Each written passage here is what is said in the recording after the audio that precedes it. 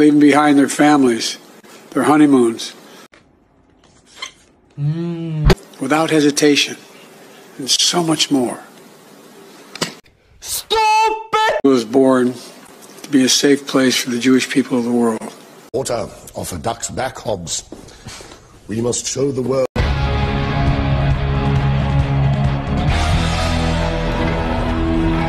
No fucking shit. That's why I was born. I've long said. Um. Israel was born to be a safe place for the Jewish people of the world. Okay, it was funny the first time, lads. Oh my god.